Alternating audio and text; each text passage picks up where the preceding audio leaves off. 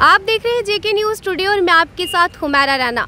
आज सुबह से हल्की बारिश स्टार्ट हो गई थी और हल्की बारिश के साथ साथ थोड़ी सी तेज़ बारिश भी हुई जम्मू में और जम्मू के काफ़ी बाकी इलाकों में भी बारिश देखने को मिली। और बारिश इस गर्मी के टाइम पे जब बारिश होती है तो सबको खुशी होती है कि अब थोड़ा सा मौसम जो है वो अच्छा हो गया है, मौसम जो है वो खुशगवार हो गया है। लेकिन इस हल्की बारिश के बाद जम्मू के हर कोने कोने में पानी भर जाता है। है चाहे वो सड़कें हो, नालियाँ हो या नहरें हो, जो पानी से ओवरफ्लो करती हैं और जो सड़कें हैं वो पानी से भर चुकी होती हैं। जब सुबह आप निकलते हैं घरों से तो पानी आपको हर जगह देखने को मिलता है। चाहे वो छोटी सी बारिश, थोड़ी हल्की बारिश के बाद ही आपको इतना पानी देखने को मिलता है।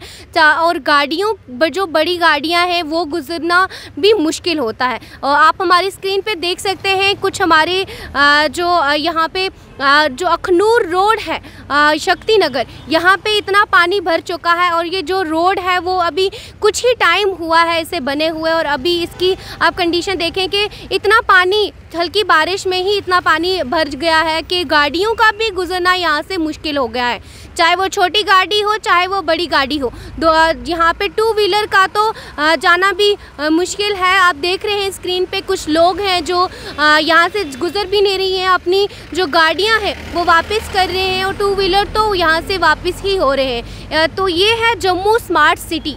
यहाँ पे हल्की बारिश होते ही हर जगह पे पानी इतना भर जाता है और ये हमारी स्मार्ट सिटी है। जो लोग हैं, उनको हल्की बारिश के बाद ही इतनी परेशानियों का सामना करना पड़ता है। ऐसी और अपडेट्स देखने के लिए देखते रहें JK news today. Video journalist Kakaram के साथ मैं हुमैरा रैना।